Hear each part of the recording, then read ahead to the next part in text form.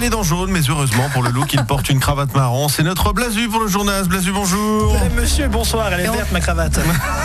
Ah bon On démarre ce journal avec les titres. Une manifestation contre la discrimination des végétariens aura lieu à Genève. Une militante déclare Les gays sont mieux traités que les gens qui ne mangent pas de viande. Une phrase qui a à peu près autant de sens que les pneus neige ont un profil moins profond que mon cul.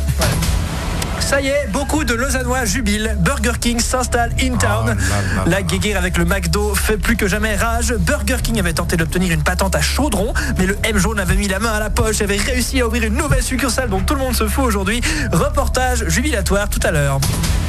Un menu double Whopper avec frites et Sprite, s'il vous plaît, c'est le sommaire de ce journal. Les Hyper News de ce mercredi matin. Et un mot de football, le deuxième gardien du LS, Mathieu Desbonnaire, a été relégué au poste de quatrième gardien. Après branleur de dindon en batterie, voici le nouveau pire métier du monde, quatrième gardien du LS. People, le mannequin, la mannequin pardon, hollandaise Lara Stone est devenue la mère d'un petit garçon. Madame Stone a un fils, comment s'appelle-t-il? Je sais pas. Stoney. Ah non, Chardonnay. Ah, ça marche pas. Stoney Chardin. Non, tant pis, j'aurais essayé. Non, ça bon, marche pas. d'accord. Ok, Ouais. Écoutez, on va mettre euh, un petit franc dans la billière. Oui, Celle-ci, ouais, c'est que ça. Non, ça marche pas. Ouais.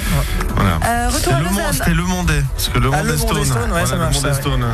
Retour à Lausanne où le CIO souhaite agrandir son siège. Oui, Daniel Brella aussi. Le Jura maintenant, le village de Reconvilliers craint son pyromane. J'en parlerai tout à l'heure sur Couleuvre 3.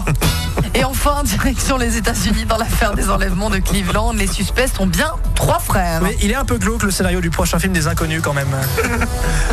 Voilà, partie reportage maintenant, gastronomique en plus aujourd'hui. hein. Je vous le disais en titre, Burger King s'implante à Lausanne. Les fans de nourriture rapide s'en réjouissent, les autres s'en foutent. Sandrine Gratru, Yvon Rançon.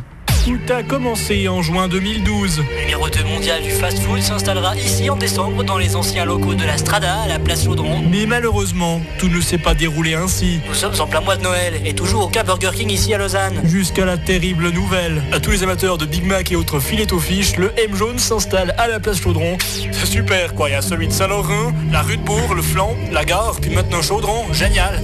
Moi j'ai dit à mes enfants, quand vous serez grands, vous aurez des frites, hein. partout des frites, des frites. Un homme se dresse face à cette terrible déception fast-foodière. Jean-Claude Whooper. Salut, je m'appelle Jean-Claude, ma passion dans la vie, c'est la malbouffe. Ici, vous êtes témoin là Et ça, euh, c'est une piscine? Non, c'est ma baignoire.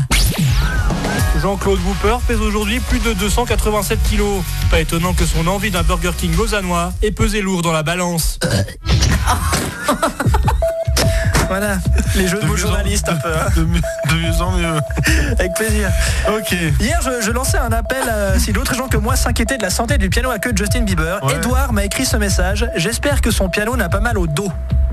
Le dos. euh, Oui, très Ah ouais. drôle. oui. Merci Edouard. On se quitte avec le déménagement de l'or du jour.